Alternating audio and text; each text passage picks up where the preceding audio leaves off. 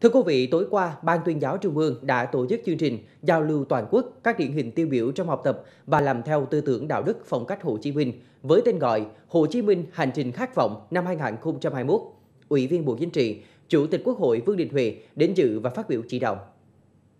Phát biểu tại chương trình, Chủ tịch Quốc hội Vương Đình Huệ nhiệt liệt chúc mừng và biểu dương các tập thể cá nhân điển hình tiêu biểu trên cả nước, đồng bào ta ở nước ngoài. Chủ tịch Quốc hội mong rằng các điển hình tiêu biểu tiếp tục nỗ lực phấn đấu hơn nữa để cả dân tộc ta là một rừng hoa đẹp, góp phần làm cho di sản của Chủ tịch Hồ Chí Minh tiếp tục được khẳng định và phát huy mạnh mẽ, làm cho tư tưởng, đạo đức, phong cách của người thực sự thấm sâu, thực sự trở thành nền tảng tinh thần vững chắc trong đời sống xã hội. Tại chương trình, Ban tuyên giáo Trung ương đã tôn vinh và trao biểu trưng cho 22 cá nhân tập thể điển hình tiêu biểu trong học tập và làm theo tư tưởng đạo đức phong cách Hồ Chí Minh năm 2021.